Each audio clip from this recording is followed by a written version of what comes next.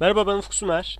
Ee, bu çalışmamızda amacımız NSYS Workbench'te bir e, backlink yani burkulma analizi gerçekleştirmek. Bunun için e, analiz sistemleri e, altındaki sekmelerden e, static structural sekmesini tutup e, proje şemasına bırakıyorum. Daha sonra e, linear backlink e, sekmesini tutup e, proje A'daki solution üzerine bırakıyorum. E, şimdi e, geometriyi tanımlayacağım. E, geometriyi sağ tıklayıp proje A'daki geometriyi sağ tıklayıp import geometri diyorum. Browse diyorum. Buradan parçamı çağıracağım. E, hemen şuradan e,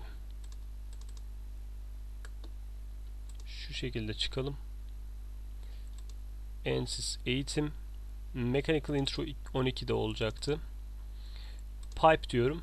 E, parçamı açtım. Daha sonra e, modeli çift tıklayarak e, Mechanical sayfasını açıyorum.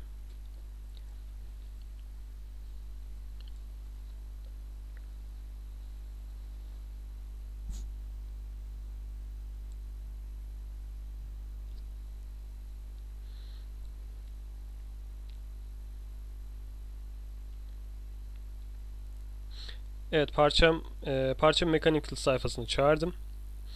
Şimdi e, static structure ile beraber e, linear backlink e, sekmesi de hemen burada tanımlandı. Şimdi e, bir mesh yapısı oluşturalım hemen. Sağ tıklayıp generate mesh diyorum. E, daha sonra e, static structure'da e, malzemenin parçamızın e, sınır koşullarını ve yükünü yükleri tanımlayacağız.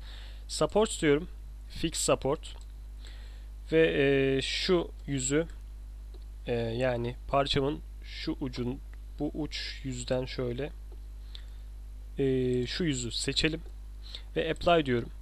Burayı fix support sabit bir e, destekle e, tanımladım. Ardından e, şu yüzü seçeceğim. Yüzü seçtik. Load diyorum.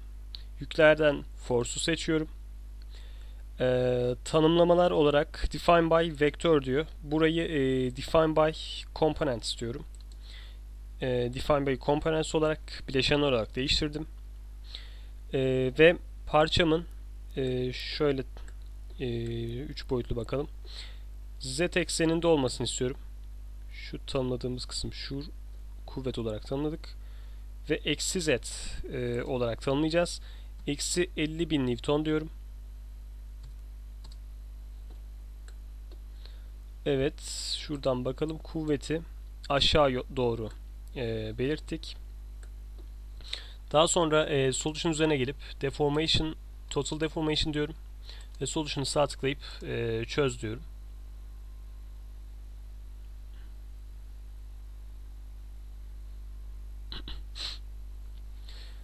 Evet çözümü bitirdik. Şöyle bakalım. 0,18 milimetrelik bir e, yer değiştirme e, görüyoruz. Hemen şurada simülasyonunu gösterelim. Çok büyük bir yer değiştirme değil aslında.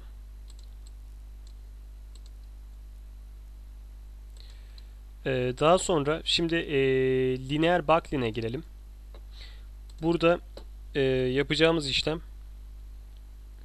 şöyle gelelim. Sağ tıklayıp e, çöz dediğimizde e, burkulma, doğrusal burkulma analizini de gerçekleştirmiş olacağız.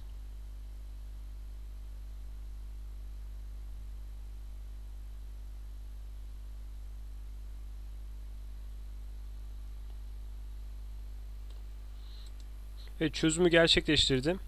Ve e, çözüm tamamlandığında e, burada grafiklerde e, ve tabular datada e, ilk burkulma e, modunu gösteriyor.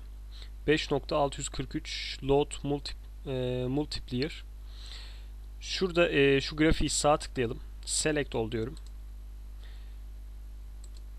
Ve create tekrar tıklıyorum. Create mod shape results diyorum. E, mod şekilli e, şekli sonuçlarını oluştur diyorum. İstersek bu e, mod şeklini e, arttırabiliriz. isteğe bağlı olarak. Ve total deformation'ı e, otomatik olarak tanımladı. Solution üzerine gelip sağ tıklayıp e, Evaluate All Results tüm sonuçları değerlendir dediğimde Total Deformation'ı e, bitirmiş olacak çözümünü. Ve burada e, toplam deformasyonu görüyoruz. E, play deyip animasyonu da görebiliriz. E, birim olarak da e, 1.027 0273 milimetre e, bir yer değiştirme olduğunu görüyoruz. Ve load multiplayer şurada da total deformation üzerindeyken e, mod şeklinin 1 olduğunu e, ve yük e, çarpanının 5.643 olduğunu görüyoruz. E, gerçekte e, bu yük çarpanı e, uygulanan yük için e, güvenlik e, burkulma faktörü olarak e, yorumlanır. Şuradaki 5.643 şurada tabular datada da görebiliriz. Ve e, burkulma e, analizimizi gerçekleştirmiş olduk. E, bugünkü dersimiz bu kadar. E, görüşmek üzere.